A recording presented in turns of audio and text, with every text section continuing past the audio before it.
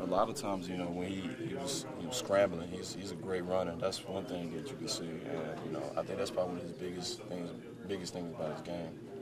One of the things that Coach pointed out in his, in his presser was, was mismatches. Mm-hmm. How confident are you guys, is this defense that y'all can create mismatches, whether you're playing yourselves like today or somebody else? Uh, that's that's a hard question. Um, I really wouldn't know, but you know, just for just for the offense and defense, I mean, there's athletes on both sides of the ball, so it's kind of hard to say. In the scrimmages, Bo Scarborough put up big numbers today. Damien Harris did. What, what did you see from Damian? And, and uh, talk about his progress, I guess. Oh, Damien's made big a, a big improvement, and you know, I'm excited for him this season. You know, I know he's gonna do well, and you know, I just you know expect him to do what he, he's doing. Rashaan, on the long pass play that uh, Jalen had late in the game, looked like there was a lot of y'all around the ball. What Yeah. happened there? Could you? Yeah, well, I was breaking to the ball. Um, I think I tipped it, and it kind of I think with the cam, that's when he caught the ball, and you know, I, that, that, yeah, I kind of feel kind of bad, but they kind of Sort feel of like an it Ole was Miss yeah, throwback. yeah, yeah. You tipped it? Yeah, I, I, yeah, I it tipped was it. I tried to put, I, I tried to put my right hand up, and I tipped it. So that's kind of what happened.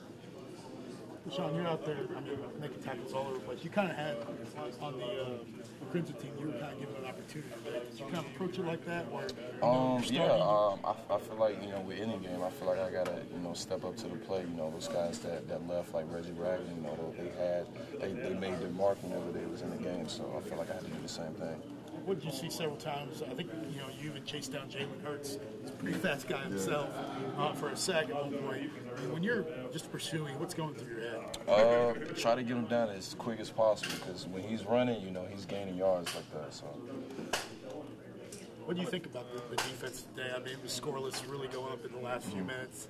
Uh, you know, I think your team had 11 total sacks. Yeah. You know, when you hear a number like that, what is Yeah. that?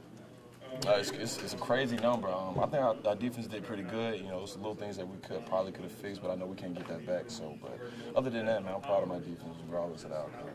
How much progress do you feel like you made at the inside linebacker position all for this? Uh, yeah, I think I've made a big progress. You know, just starting out, it was a little hard. You know, trying to get acclimated, being there, step back, and you know, dropping and stuff like that. But now I feel a little bit more comfortable. the way it went with the defense today, was that pretty much indicative of what's been going on in spring?